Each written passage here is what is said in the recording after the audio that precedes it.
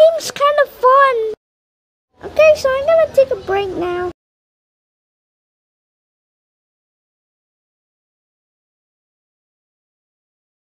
I'm gonna go to the store.